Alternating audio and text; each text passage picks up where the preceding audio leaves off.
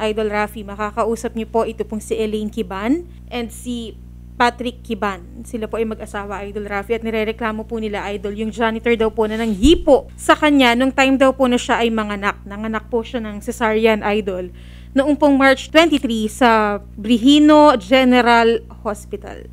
Ma'am Elaine, Hello po. Sir Patrick, magandang hapon. Good afternoon po. Okay, nasabi na po sa akin ng uh, staff, kayo po ay cesarean. Opo. At habang kayo po ay nasa operating room, Opo. eh may pumasok po na janitor para tumulong daw na maglinis. At sino po yung nagtawag sa janitor na pumasok po sa operating room? Hindi ko po alam kung sino pong tumawag sa kanya. So nakapasok na po yung doon ng janitor, nandun po kayo nakahiga, katatapos lang po ng C-section ninyo. Ano po ang nangyari, ma'am? Ang nangyari po niyan, may nakita po ako na lalaking kalbo, matangkad, na nakamaroon na scrub tooth. Tapos po nandito po siya sa may gilid ko, sa may kanan. Opo. Tapos po, dahan-dahan niya pong pinasok dito po sa kanang bahagi ng katawan ko, sa may dibdib ko, yung, ka- yung kanyang kamay. Tapos nung naabot niya na po yung breast ko, hinawakan niya po ng taas-baba. Tapos po, inalis niya po yung kamay niya. Maya-maya po, naka, na, ah, after ilang minutes lang po, ginawa niya po ulit yun. Tiningnan niya po ako, ipinasok niya yung kamay niya sa kanang bahagi ng, ng breast ko. Tapos ganun po ulit, up and down. Tapos tinitigan ko na po siya noon, na parang nagbig, nagbigay na po ako sa kanya ng signal eh, na alam ko yung ginagawa mo. Okay. Bakit mo hinahawakan yung breast ko po? Bukod po doon sa janitor, meron pa hubang ibang mga hospital personnel na naroroon. Wala po Sa mga ako oras na yun? nakitang, nung oras na po yun sir, wala po ako nakitang iba. Yun lang po talaga ang kita ko, yung lalaki lang po na yun. Ang alam ko po, pag cesarean, usually ginagamitan po kayo ng sedation. Sedated ho ba kayo at that time? Opo, may tinurok po sa akin sa anesthesia po. Pero gising na po kayo. Opo, buong ano po, buong operation po hanggang sa matapos, hanggang dalhin po ako sa recovery room. Gising po ako. So, hindi kayo nakatulog, gising kayo. Hin- Opo, hindi po talaga ako makatulog. Tinatry ko po matulog pero hindi po makatulog dahil nanginginig po yung katawan ko sa, sob- sa sobrang lamig. Nanginginig po. So, yung anesthesia para inumb lang, para hindi nyo na ma-feel yung pain. Kasi may Opo, mga opo. anesthesia na tulog kayo. So, Opo, alam na alam nyo po yung mga pangyari. Opo, opo. So, matapos niya ho kayong puipuan, ano pong sumunod na nangyari? Pagkatapos po noon, nung pong hinipuan niya po ako, dahil after ilang minutes pa po, matagal po ako sa operating room. Tapos po, nung dinala po ako sa recovery room, siya din po yung nag-transfer sa, nagdala sa akin sa recovery room hanggang sa makarating po ako doon sa mismong room ko. Sa, sa mismong room ko po sa ospital. Siya din po yung nagdala sa akin noon. Janitor din po ang nagtulak. Opo, siya din po. Ano po yung exactly na naging purpose ng janitor para siya po ipatawag ng nurse doon na ipaliwanag ba sa inyo later on kung bakit naroroon si janitor? Hindi Bakit po. siya tinawag ng nurse? Sabi nyo kanyo, nurse ang nagpapasok sa kanya doon? Hindi po, hindi po na-explain sa amin kung bakit po janitor po ang kailangan po, pumun- ah, kailangan mag-assist sa kanya. Ang sabi, ang excuse po kasi ng janitor, nung nakausap namin, tinulungan daw po niya yung nurse na magpunas daw po ng dugo. Na una pa lang po, hindi na po agad ako naniwala. Okay. Dahil impos- imposible po na ah, maging trabaho yon ng isang janitor, yung po mag-assist sa nurse dahil di ba po may nursing aid naman po.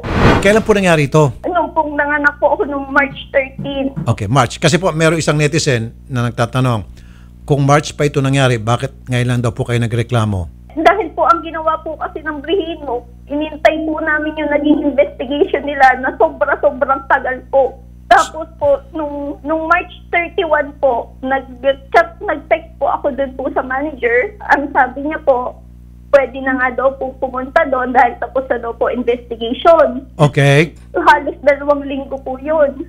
Pagdating nyo po doon sa ospital para sabihin sa inyo anong resulta ng investigation, Ah, pagkatapos po nun, Sir Rafi, hindi po agad kami nakapunta sa ospital dahil di, nag-lockdown po. Taga Quezon City po kasi kami, sa San Jose del Monte, Bulacan po, yung ospital. so ano pong naging resulta ng investigation nila? Ang sabi po nila, it could be the effect of the spinal anesthesia and intravenous sedation. Okay, so anesthesia raw po ang may dahilan. Parang nag-hallucinate kayo. Parang ganun po yung pagkasabi. Opo, opo, yun po ang sinasabi nila. Kaya po, yun po, yun po hindi ko matanggap eh na, na yun po idadahilan nila. Eh, umamin po, Sir Rafi, umamin po sa amin yung janitor eh, nung kinausap namin. Ano sabi po ng janitor? Paano po sa pag-amin? Dahil po nung mag-out na po kami sa Brino, dun po sa ospital, pumunta po siya dun sa kwarto. Nagulat nga po ako. Yun po yung pagkakamali ko dahil sa sobrang trauma ko po nung nakita ko siya. Yung naging usapan po namin, hindi ko po na-record. Ang sabi po niya, Ma'am, may reklamo daw po kayo sa akin. Tapos kinwento ko po yung ginawa niya na akala niyo ba hindi ko alam ang ginawa niya sa akin. Ano sabi niya po? Tapos, hindi po siya nagsasalita. Hindi nga po siya makaharap sa amin. Lagi po siya nakatungo lang. Tapos, pinaamin po siya ng asawa ko. Paano siya umamin, ma'am? Ano pong sinabi niya? Tinang, tinanong po siya, tinanong po siya ng asawa ko kung, kung ina, ginawa mo ba yon Tapos, hindi noong una hindi po siya, hindi po siya nagsalita. Tapos, dinahilan nga po niya yun sa dugo. Yung naglinis lang, baka daw po dahil nung naglinis siya ng dugo. Tapos, in-explain ko po sa kanya na imposible pong magkadugo sa taas na parte ng katawan ko. Okay. Tapos po, hindi na ulit po, parang hindi na po agad siya nakaimik eh. Tapos bigla pong tinanong po ulit siya ng asawa ko kung ginawa mo ba? Dahil ang dami po yung sinasabi, ginawa mo ba? Tapos tumungo po siya, tumungo siya, tapos humingi po siya ng pasensya. Doon po sa operating room, may napansin ba kayong CCTV? Wala po ako sir napansin. Kausapin naman natin itong janitor si Julian Tupil Jr. Mr. Tupil, sir. Yes, sir. Opo, good afternoon po. Okay, kayo po ay naka-duty na bilang janitor sa ospital, orderly po. Brihino General Hospital. Bakit po kayo pumasok sa operating room? Ah, s- sir, matapos nung operasyon ni Miss Kiban, ay ah, automatic po akong pumapasok sa OR para maglinis po, iligpit po yung mga kalat. Nandun pa siya, tama? Nandun pa siya at Ah. that time. Andun po si Miss Kiban, nililinis po ni Nurse PJ yung pasyente. Teka muna, sino po, sino po nag-utos sa inyo na pumasok doon? Ano po, automatic na po namin ginagawa yun, sir, after ng operation. Kasi ongoing pa po yung operation sa kabila. So, ang patakaran sa ospital, sa Brihino General Hospital, kahit nandoon pa yung pasyente, pwede ka nang pumasok para maglinis ng mga blood o kung ano man yung mga kalat doon, pwede ka nang maglinis even while the patient is still there. Ah, sir, ah, opo, nandun po yung nurse, si nurse PJ, nililinis yung pasyente. So, ah, habang nililinis niya po yung pasyente, is nagpatulong po sa akin yung nurse na itagilid yung pasyente para... Muna, mailagay- tinawag ka ba ng nurse o ikaw ang kusang pumasok? Ah, sir, ano po, an- nandun na po ako sa loob, sir, eh. eh kasi nga, maglilinis nga po sana ako. Okay, so in other words, hindi po kayo pinapasok ng nurse. Kayo po ang kusang pumasok doon. At nung nandun na kayo, nakita kayo ng nurse na nandito ka na rin lang at patakaran naman ito, pwede ka pumasok labas ng operating room pagkatapos ng operasyon kahit nandiyan pasyente, e inutusan ka na lang para tumulong. Opo, sir. Ah, bali, ah, pina, kumbaga, pina, sabi niya sa akin, kung ko siyang itagilid yung pasyente para mailagay po, maiayos po yung diaper at the same time yung binder po ng patient. So, tinulungan ko po yung, si, yung nurse. Okay. Ah, at the same time, ah pinun- nag, nagpunas na rin po ako sa mga sa mga dugo po doon sa ano sa stretcher din po doon sa Okay. side na po nung ano. Okay, sige. Ko na rin po. Ah, ang tanong ko sir, to- totoo ba na hinipuan mo siya at umaming ka raw sa mister niya? Ay, hindi po sir. Hindi ko po siya hinipuan. Ang sabi ko po na- nung nagsorry po ako sa kanya, sabi ko po sa kanya, ma'am kung sakali po na na-offend po kayo o nasaktan po kayo sa pagpunas ko ng katawan niyo, humingi po ako ng tawad. Pero hindi ko po yun pinadya. Okay. Who gave you the authority o sino ang uh, nagbigay sa iyong paintulot na magpunas ng katawan ng pasyente? O yung ba ay patakaran sa ospital ninyo? Na allowed ka magpunas ng katawan ng pasyente bilang Ah, isang sir, janitor? Ah, actually sir, orderly po yung ano ko doon, work description ko doon. Ang work description po ng orderly is to assist yung patient, maglinis po. Operating room to. At nandun yung pasyente katatapos ng opera. Kasama ba sa trabaho mo na linisin ng pasyente? Kasi bukod sa nurse, merong assistant nurse, merong nurse aide. Kasi kung akong tatanungin mo, Sir Julian, Opo. ayokong kapag halimbawa ako nalagay sa surgery room, ayokong may ibang tao doon maliban sa doktor at nurse. Kapag merong ibang tao doon na hindi doktor o nurse, manggagalaiti ako at babalikan ko yung ospital. May kalalagyan sa akin yung ospital na yan. Regardless kung yun napatakaran nila o hindi. Para sa akin, ang dapat nandyan lang sa loob ng operating room habang nandyan pa ako ay doktor, nurse, nursing assistant. Janitor, no. Yan ba ang patakan ng ospital nyo? So allowed ka pala maglinis ng pasyente. Now, tanungin natin to si Miss Marilyn Bardos, Assistant Admin, Brihino General Hospital. Miss Bardos, magandang hapon. Yes, ma. Ay, yes, sir, Tulpo. Inaalaw nyo po ba ang inyong mga janitor na maglinis ng pasyente? Ay, sir, hindi po. Hindi po yan ina-allowed. Oh, At never po nangyayari na ina-allowed sila at ginagawa na naglilinis sila ng katawan ng pasyente. Ayan po, galing mismo sa bibig ng inyong janitor na siya raw ay tumulong, ah, nandoon siya, nakita niya yung maraming kalat, may dugo-dugo tong pasyente, kaya nilinis niya yung katawan ng pasyente. Pero malabo po yun, sir. eh. Ayan po, galing sa bibig niya, ma'am. Now, ngayon, so mas kapanipaniwala itong si patient, si ma'am Elaine, na talagang nahipuan siya. Kasi, bakit kasi siya maglinis ng katawan ng pasyente? Pero sir, kasi ano eh, ah, nung time na yon, ah, nandun po ang mga nurse namin. Kaya hindi po talaga, wala pong ganong incident na... No, ma'am. No, no, no. Sabi mo, walang authority o karapatan ang isang janitor na maglinis ng mga pasyente. Doon pa lang may violation na agad itong janitor. Mhm. Okay? Doon pa lang may kita mo na merong ginawang hindi tama si janitor. Mhm. Doon pa lang may kita mo na nagkaroon siya ng interest sa pasyente kasi hindi niya trabaho yun eh. So ba't niya pupunasan? Kaya niya pinunasan yun kasi nagkaroon siya ng interest doon sa pasyente. Mhm. Di ba? Nakita niyo yung pasyente siguro halos wala nang saplot dahil naka hospital gown, exposed, sinumpong siya ng kanyang kamunduhan, vulnerable yung patient. Alam niya na katatapos lang ng sedation and then ginawa niyang kanyang kamunduhan. Doon pa lang dapat ma'am nasuspindi na siya. Doon pa lamang sa pagpasok niya sa kwarto at paglinis ng pasyente na hindi pala part ng trabaho niya, doon pa lang dapat meron siyang parusa. Yes, actually sir, ginawa namin. Anong pong parusa? Ah, actually, tin- eh, tinanggal nga namin siya nung time na yon. Wala na siya sa inyong ospital. Yes. Pero po, sir, na-rehire kasi, di ba, actually, Hindi, ang tanong ko lang ma'am, is he still working with your hospital or no longer? at ah, two days ago, sir, ah, na-rehire namin. O bakit? Ah, kasi po, sir, di ba, nagkaroon kami ng investigation. Nung actually, sir, nung time na nagsumbong si ma'am ah, sa amin, so ginawan agad namin ng aksyon. So, kinausap namin si ma'am, sabi ko sa kanya, ah, syempre, di ba, bilang babae, so, syempre, inano namin. So, sabi hanggat, ah, tawag nito, nandun kami sa, at chinecheck namin kung alin, kasi sila pa lang nakausap ko nung time na yun, sir, eh. Kasi para at least ma, ano namin, so ba, tinanggal namin siya doon sa, sa area, actually.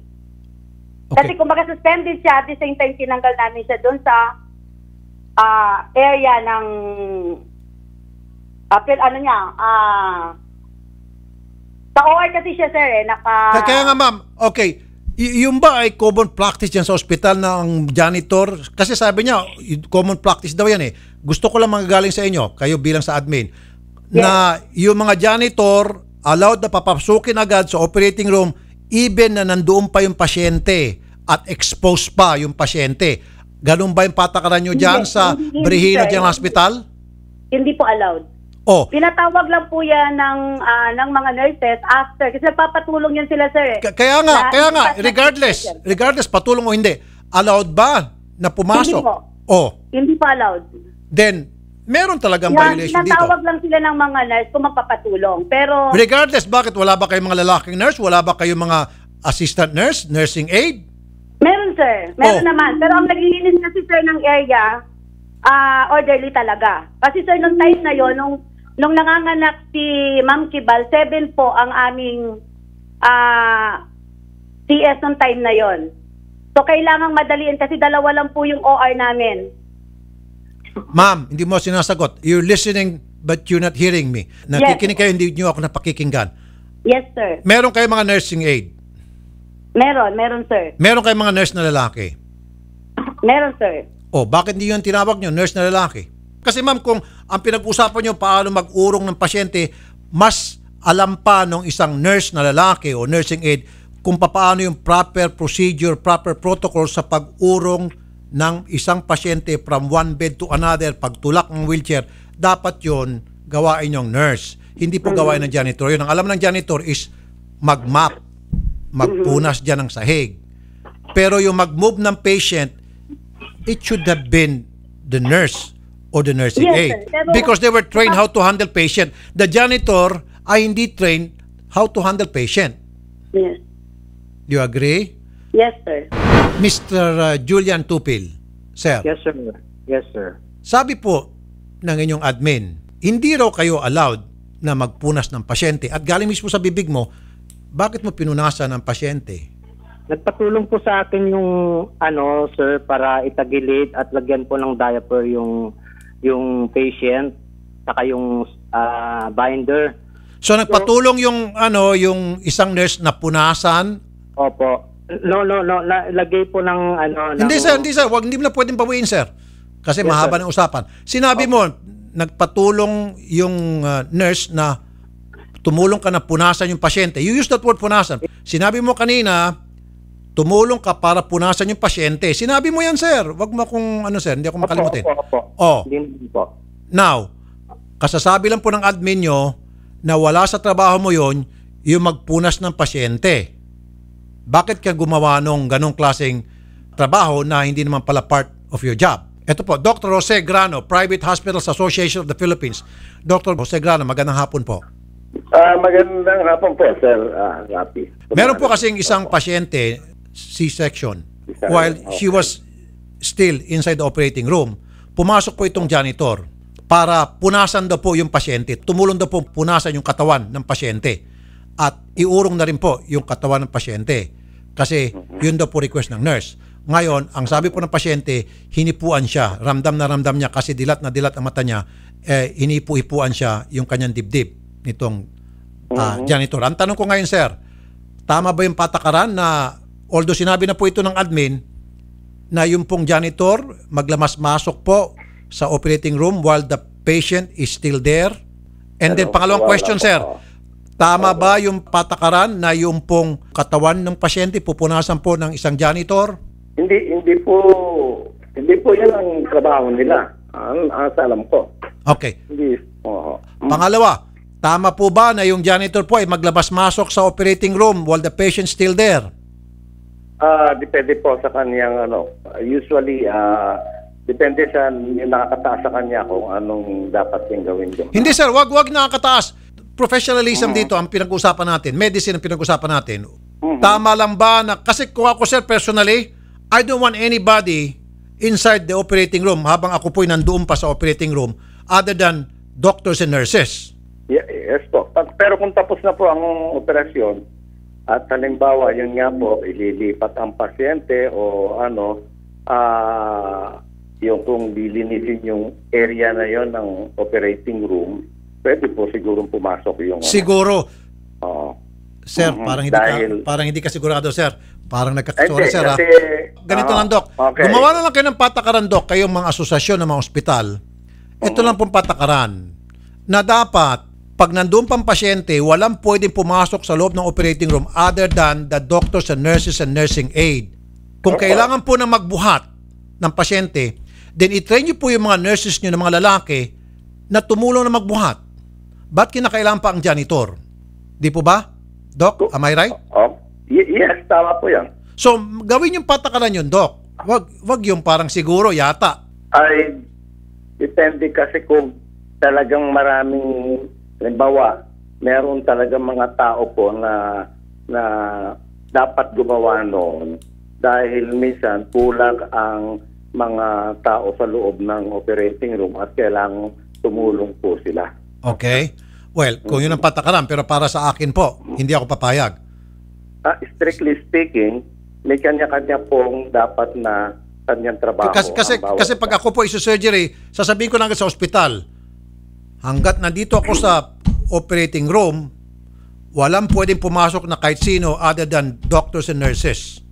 Kasi po, if anything happens there, at least yung alam ko, kampante ako mga professional, mga trained for their job when it comes to taking care of patients are there inside with me, no other than aside from them. Mhm. Nag-guess niyo po? Tama po.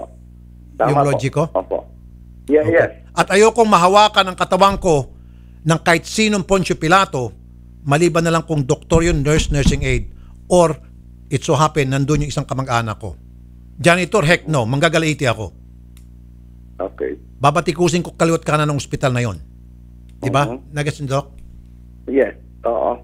Doc, so inamin po nitong janitor na nilinis niya po yung katawan ng pasyente. Ano pong violation yun? Ayun nga po, di naman dapat niya ginagawa yun dahil wala, wala yun dapat sa kanyang... So therefore, ano po dapat ang parusa? Kung kayo po ang tatanungin, ano po dapat ang pwedeng ipato ng parusa doon sa janitor o doon sa ospital? Nasa ano po nila yan, sa kanilang... ah, ah, ano to, meron sila kasi diyan na job description at, at kung mali po ang kanyang ginawa, ay di kailangan po siyang mga penalized for doing ah, na mali, mali yung kanyang ginawa. Pwede nyo ba explain difference ng orderly at janitor? O sige po, paki-explain daw po ano yung sabihin ng orderly at janitor.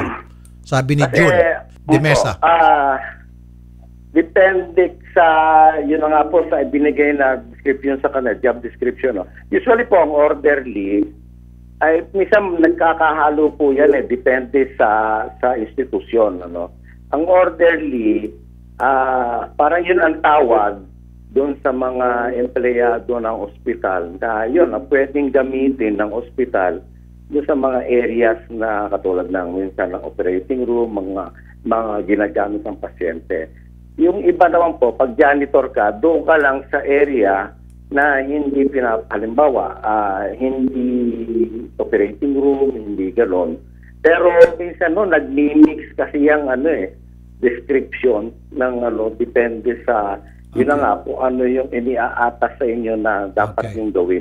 So, Doc, since kay, kayo po ay kasapi ng Hospital Association of the Philippines or Private Hospitals Association of the Philippines, sana, Doc, magkaroon kayo ng uniformity set of guidelines na ano pa dapat ang trabaho ng isang orderly, trabaho ng isang janitor, trabaho ng mga tao na nasa loob po ng ospital, especially when it concerns patients and operating rooms. Dapat po meron kayong guidelines na sinusunod po ng lahat. Huwag yung may Ah, kanya-kanya. meron po Kasi sabi mo, sir, depende sa ospital yan. So, dapat po meron. Oo. Oo, kasi nga, ah, depende doon sa kanilang ano eh. May, may mga, dapat nga, yun, standard. Kaya nga po, kaya yung sasabi ko, sir, Opo. dapat may set of guidelines. Kasi nga po, sir, paano kung halimbawa yung pasyente hubot-hubad pa doon, katatapos ng operasyon, katulad nito, si ma'am, o expose yung kanyang breast, Mhm. Oh, dahil janitor siya, hindi siya nurse, hindi, hindi siya trained kasi pag yung mga nurse at mga doktor kasama sa training nila yon, natural na sa kanila yon na makita ng katawan na hubot-hubad, they've been trained na hindi sila maapektuhan or hindi sila madala ng kanilang emosyon na makita ng pasyente na kahubad because that's part of the training. Yes. Kumpara sa isang janitor na hindi siya trained, aba, nandun yung matutukso siya. Nagagawa siya ng kamunduan. Tama ba ako, Doc? Tama, tama po yan. Dapat, Doc, mag-set ka ng ganung guidelines na from now on, wala dapat tayong lahat. Sundin natin itong patakaran. Nurse lang at saka doktor ang nandyan while the patient still there. Pag wala na yung pasyente, sige na. Pwede na. O kapag magtulak ng pasyente, yung pasyente nakaupo na sa wheelchair, pwede na magtulak yung janitor. Mhm. Kasi po sa operating room, pag nude ang pasyente, papasok pala to si janitor. Sabi nitong janitor, natural daw sa kanya, pagkatapos ng surgery, papasok siya, labas-masok siya. E paano kung nakahubot-tubad yung pasyente? Okay lang? Hindi po dapat yan. ah. Salamat po, Doc. I rest my case. Okay. Magandang hapon po, Doc. Thank you. Miss Bardos, Sir Rapitol po. narinig niyo po, sabi po ng uh, ni Yes. Dr. Grano. So, ang gusto lang po nitong complainant namin ay makakuha po siya ng hustisya. Ma'am, Yes. Ma'am Elaine, ano bang hustisya ang hinahanap niyo po? Opo. Ma'am Elaine. Gusto ko po, nung, gusto ko po sana makulong po si yung pong June, tsaka po ah, mag, ah, magkaroon din po ng ano ng kaso po ang ospital dahil pinagtakpan na po nila eh. Doon po sa ginawa nilang investigation, pinagta parang ang dating po sa akin, pinagtakpan na po nila. So gusto niyo pong ah, makulong to kasi sa tingin niyo ah, walang ginawang ospital at binalik parang insulto nga after na Opo, masuspindi opo, ay ibalik namin kasi mali pala ito at ang Opo. ang masakit nito ating insulto injury pinalabas pa nila na opo, na ikaw ay under anesthesia daw po. Kaya daw po, it could be the effect of the spinal anesthesia and intravenous sedation. sino po nakapirma diyan sa su- sino po nakapirma diyan? Wala po. Nagbigay lang po sila basta sa amin ng isang papel na ito daw po ang resulta ng investigation report.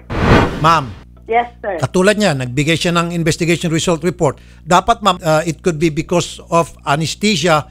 Dapat ang nagsalita niyan ay doktor. Pinirma ng doktor para pagdating sa korte, papatawag yung doktor na yan.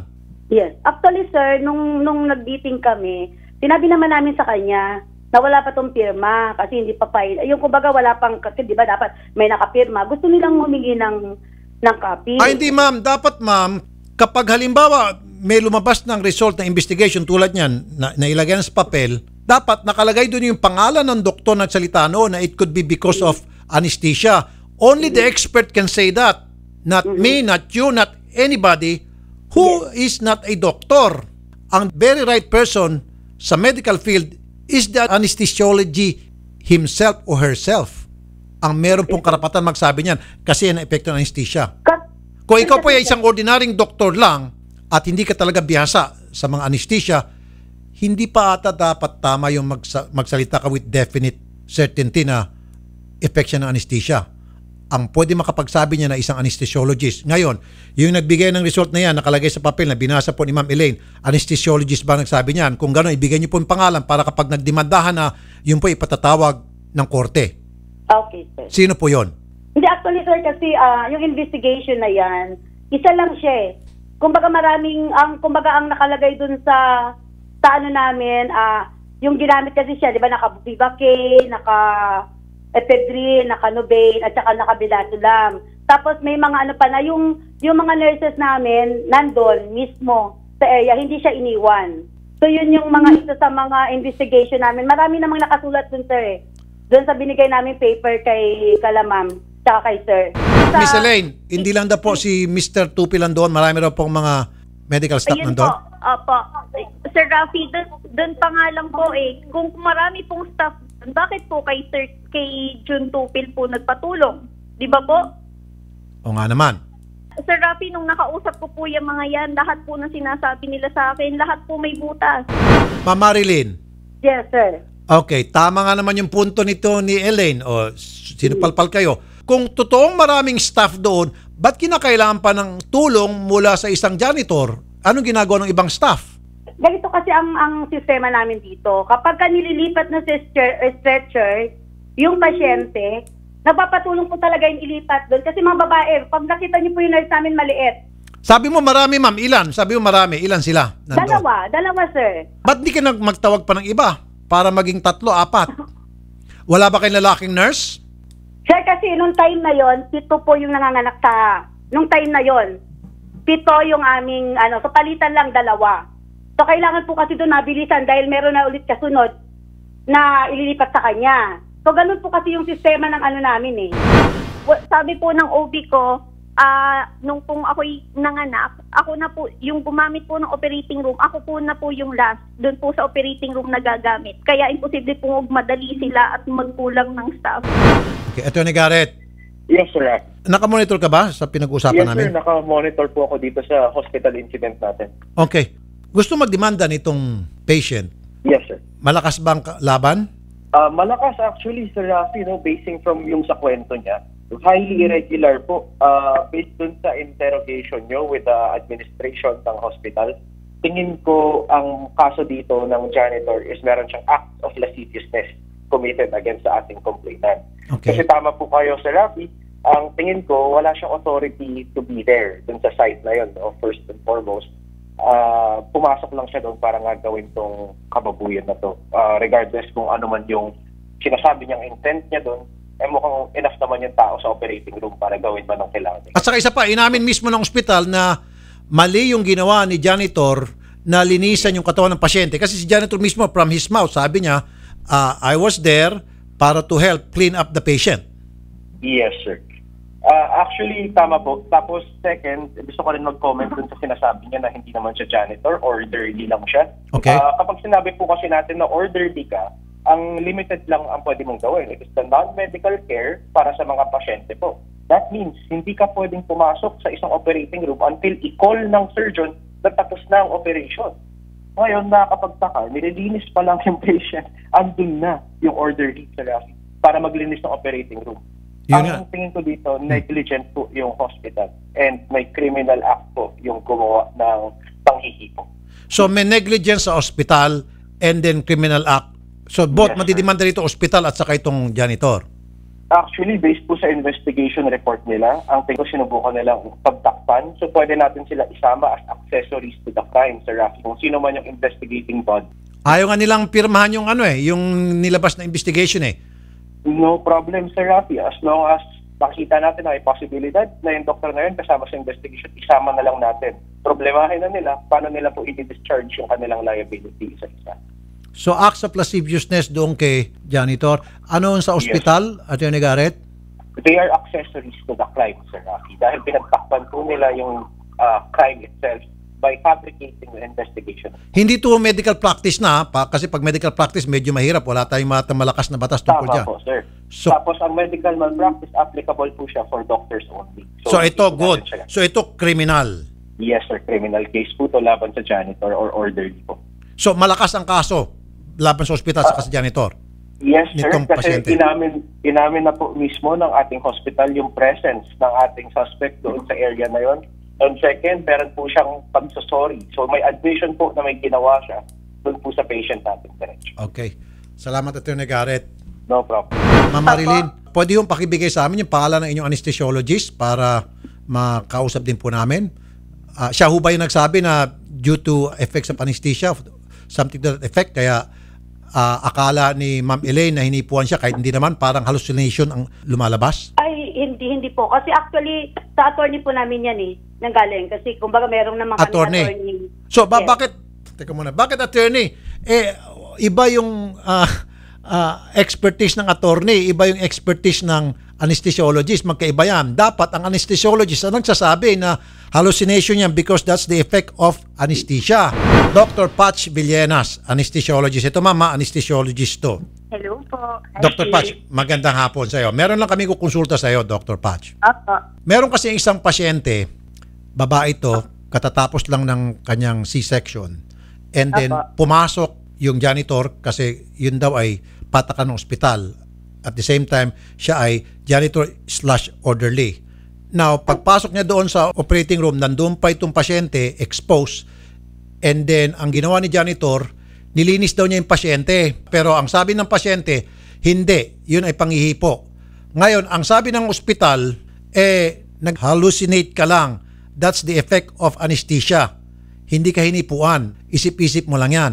Anong comment mo bilang isang anesthesiologist? Sabi ng pasyente, hindi. Gising na gising ako. I know what is happening around me. All the while, alam ko lahat ng pangyari. Um, ang opinion ko lang po dito, dapat po, yung, kung yung orderly or yung janitor isang lalaki, dapat hindi po silang dalawa lang ang nandun sa kwarto kung saan niya di umano nilinis yung pasyente. Dapat kung lalaki yung maglilinis o mag-aayos ng pasyente, hawakan man niya o hindi, may isa pang nurse o di kaya isa pang orderly na babae para um, hindi lang sila yung may alam sa nangyari. Merong isa pang taong makakatulong sa pasyente at sa lalaking orderly na magsabi kung ano ba talagang nangyari. Pangalawa, kung yung anesthesia, may epekto ba siya na mag-hallucinate yung pasyente? Hal- hallucinate meaning may makitang iba o may marinig na wala naman Hindi. talaga. Ang sinasabi ng pasyente, hinipuan ako, kitang-kita ko, feel na feel ko, nilamas-lamas niya yung dibdib ko. Ang sabi ng ospital, hindi. Ah, yan ay epekto ng anesthesia. Um, depende po yan sa anesthesia na binigay. Maaari pong lito, hindi po hallucinate yung term na dapat um, nasabi ng ospital. No? Maaaring nalito siya o hindi siya sigurado sa ma- mga nasabi niya. Totoo pong may ganong epekto ang anesthesia. Pero malalaman po yun, dun, depende sa anesthesia ang binigay. Ah, Okay. makikita po yun dapat dun sa record ng anesthesia kung kailan at saka kung ano. Kasi ah, most of the time po, sir, yung anesthesia na binibigay kapag cesarean section, by the time na makalabas yung baby, kaunti na lang yung epekto ng anesthesia na nakakalito o nakaka-confuse sa mga pasyente. Therefore, aware tong patient. Aware yung patient po. Sometimes ah, may mga pagkakataon po na talagang nalilito sila. Hindi po hallucination yung dapat term eh. Hindi ka magkakamali na may makita ka o may ginagawa sa'yo na hindi naman pala. Confusion is a proper term. Confusion. Nangyayari yon. Yes po, nangyayari po yun. Confusion. Pero yun nga po, hindi rin talaga natin sigu- masisigurado kung dalawa lang talaga sila na nandun sa kwarto. So para maging safe next time, dapat kapag merong isang lalaki na tinawag na orderly o kung ah, yan man ay hindi nurse o janitor, dapat meron katuwang niya na babae. Kung Yes lalaki man tinawag, may katuwang na babae para maging testigo na maayos yung trabaho at walang ginagawang kabalastugan. Yes po, nararapat po yun sa lahat ng pagkakataon kahit may operasyon man o wala. Pero kung again, ulitin ko, kung yung sa anesthesia may epekto ba siyang nakakahalusinate, maaari na, may epekto siyang nakakalito sa isang pasyente. Maaari po yun. Pero hindi po to mag, magdudulot na may makita kang hindi Pe- pero totoo. inamin niya, Doc, eh, na nilinis niya yung katawan ng pasyente. Meron bang karapatan ang janitor na maglinis ng katawan ng pasyente o dapat trabaho yan ng mga nurse? Meron dalawang nurse na nandoon sa loob ng operating room. So bakit kailangan ng janitor na maglinis ng katawan ng pasyente? ma dapat po sana ah, nurse yung naglinis. Hindi depende po yan sa patakaran ng ospital. Sa amin po kung saan ako nagtatrabaho, tumutulong ang orderly, hindi po janitor, orderly o nurse assistant ang tumutulong sa paglinis ng pasyente pagkatapos po ng sa kanyang kalagayan, CS po.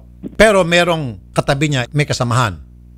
Yes, ah yes po sir. Lagi po. Tsaka kung yung mga pribadong parte ng babae ang nililinis, nararapat po o lagi, lalo, lalo na po sa pinagtatrabahuhan ko pong private hospital, na babae ang naglilinis po. Ayun. Okay, para wala nang kung ano pang mali siya na pwedeng isipin. Opo. Okay, sige. Salamat po, Dr. uh, Patch Villanas. Magandang hapon po. Thank you po. Magandang hapon. Okay. Ma'am Elaine, Po. Sige po, ah, malakas na po yung kaso nyo. ha? Kung batas po ang pag-uusapan natin, sabi po ni Atty. Gary Tungol, sige po, tutulungan po namin kayo makapagsampa ng kaso laban sa janitor at saka sa ospital. Hospital po. po. Opo. Pe- pero ang tanong ko na po ma'am, what will it take para kayo po magbago ng isip? Wala po sir dahil nung nung un, to, ang tagal po kasi nang naging investigation. Yung una namin pong pag-uusap nung pong nung pong nasabi na nga po sa amin ng manager na it, itinerminate na po namin ma- kahit wala po investigation. Okay na po sana ako doon. Kakalimutan ko na lang po lahat. Pero nung pong na-receive ko po to investigation, nang pinalabas pa nga po nila dahil anesthesia at nalaman ko po na ibinalik pa po pala nila, pinagtrabaho pa po ulit nila yung janitor. Yun po, parang tumagad na po yung galit ko, hindi ako makatulog. Ang bigat ng dibdib ko. Parang lagi Sige ko po. pong iniisip. S- Sige galit po. na galit po ako, Sir Rafi. Ah, I know, you felt violated. Okay, sige po ma'am, naintindihan po namin yan. Sige ma'am, ah, umpisan po na natin yung pagkukonsult sa isang abogado para yung pong uh, pagsasampa ng kaso. Mr. ah, Tupil, Yes, sir. last words po bago namin na tulungan ito si ma'am na makapagsampa ng kaso. Meron po kayo mensahe. Nung time na nandun po ako, ma- may kasama po ako na nurse. So malabo po na na magawa ko po yun yung sinasabi niya po sa akin. Oo nga, malabo na gawin mo yon kasi may mga kasama ka. Kaso Opo. sir, paano kung mga kasama mo nakatalikod? Paano kung yung mga kasama mo busy? Kaya nga ang sinasabi ni ma'am, wala siyang napansin na ibang tao doon maliban sa ikaw lang. Hindi niya napansin yung mga kasamahan mo. So ibig sabihin, yung mga kasamahan mo ay may distansya sa iyo at may ginagawang ibang trabaho. 'Di ba? Sir, wala pong wala po sa akin yun, hindi po hindi wala pong mali siya mo or something na naramdaman po doon ma'am, ah, sir sa ah, doon sa pangyayaring So, yun. so anong parte ng katawan niya ang nilinis mo, sir? Sir, sa nung pagkatagilid po namin, sir, sa kanya, ano po, dito sa side po ng katawan niya, meron pong betadine na konting dugo. Mr. Tupil, Yes, sir. okay. Meron lang po akong request Opo. para alam po namin at the same time itong mga netizen kung saan po kami lulugar. Opo. Ah, payag ho ba kayo, Mr. Tupil, na magpalay detector test? Pwede po. Pwede. Yes, sir.